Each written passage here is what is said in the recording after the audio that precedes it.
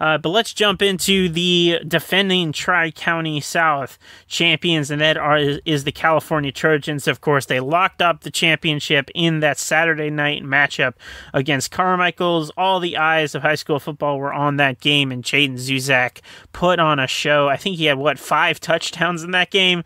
Uh, just an absolute display of dominance from Jaden Zuzak last year. Damani Stafford at quarterback filled in well after the graduation of Cochise Ryan, but it looks like he'll be making his return back um, into the backfield as Hunter Assad transfers in from Brownsville. Uh, just with all the guys coming back in your mind right now is California a no doubt undefeated regular season Tri County South defending champion team next season?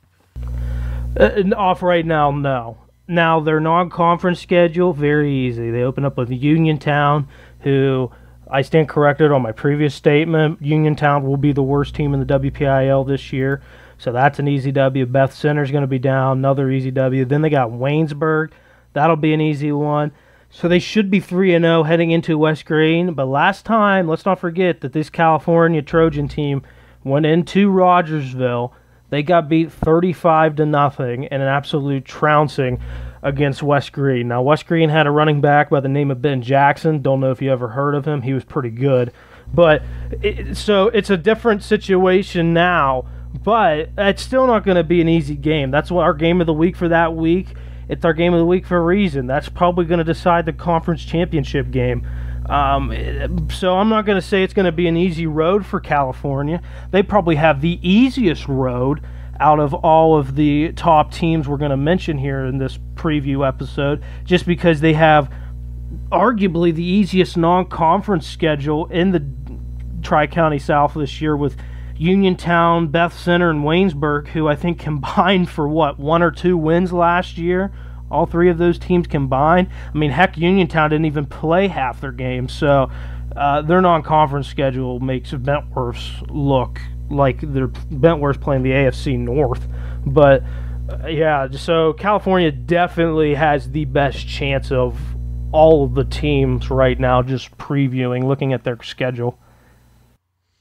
Uh, I am going to disagree with you because you know we talk a lot about Ben Jackson, but like West Greene doesn't have a Ben Jackson right now. And if you take Ben Jackson out of that game two years ago, I mean, do you really think West Greene still wins?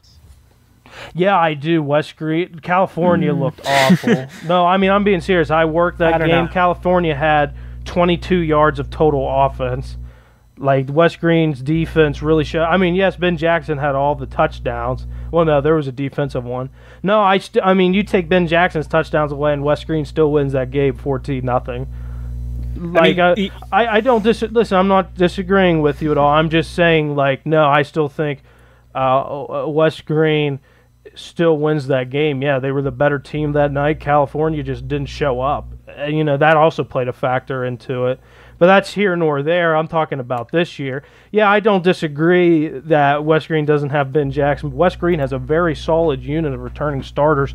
We didn't see this game last year. And I'm just saying, do I think California is the better team right now? Yeah, absolutely. I do on paper. But you still got to play the game.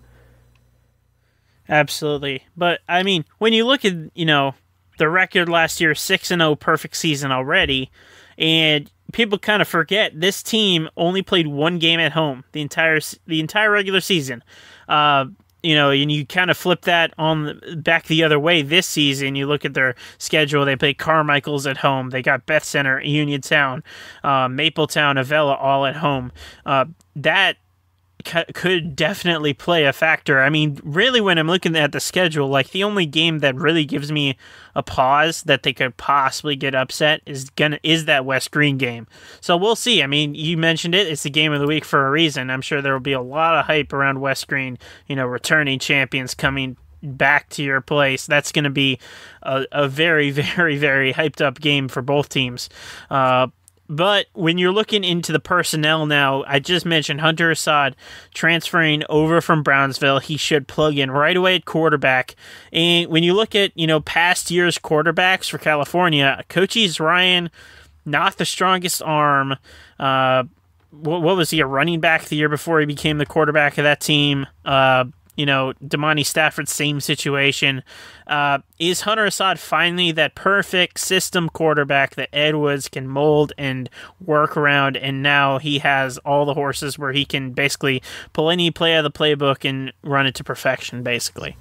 Yeah, he's the best quarterback that they've had in the last couple years. Not that they haven't had any great ones, and not no disrespect to Damani Stafford, but Hunter is just that much better of a player at quarterback than Damani is and, and they've had some really good ones back when I played, but they ran a whole different offense. They ran the triple option offense, so the quarterback's role was very different than obviously they're going to have for Assad.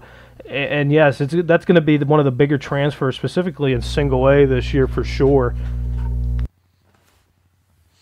Yeah, that's that's something that you know we've talked about how much of a wizard is Ed Woods is, is as as far as like play calling and you know coaching up a team, and that's something I'm definitely interested to see him uh, work. A player I'm interested to see him work with. Uh, but as far as Damani Stafford moving back into the backfield, uh, Jaden Zuzak graduates. He's going to be the main rusher once again. Um, are we going to see some of that same spark that we saw from Jaden Zuzak last year in Damani Stafford this year? Is he going to be kind of that same offensive presence that we saw? Um, no, I don't think he will have to be like Jaden necessarily had to be. I, I think there'll be a lot of guys around where he doesn't necessarily have to have all the weight on his shoulders. Not that Jaden had all the weight on his shoulders last year, but you know it's good to be diverse, especially on the football field. You know, if you have other weapons, use them. You know, I've seen a lot of seven-on-seven drills where Ethan Fike, who we know him for being a stud linebacker, really came up big in the passing game for him. So look for that uh, to be an option for California. Look for Damani to be uh, catching a lot of passes out of the backfield and even option runs with uh, you know, Hunter and Damani running out of the backfield at you, and you defensive end has to make a decision: do I go after Damani or do I go after Hunter? And that option's going to be killer. But you know, Ed Woods, he knows what he's doing. He's uh, he's a Hall of Fame coach in my books. Even though he's never won a district championship, I would have to get, say he's he would get my vote if I was a voter.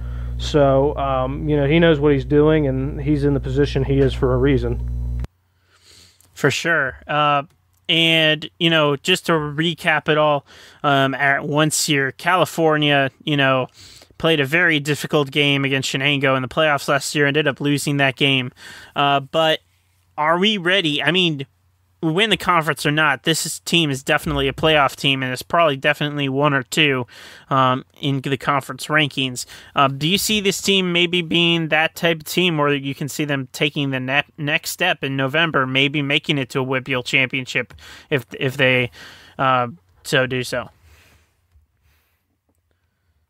Yeah, I think this team definitely has the potential to make a run for a WPIAL championship uh, and play at Heinz Field or wherever they're going to throw um, the championships at. I know Heinz Field is um, offered to host the WPIAL championships, but I know they're only going to have a certain number there, so I don't know where that will throw single way. But anyway, yes, I think that California will definitely.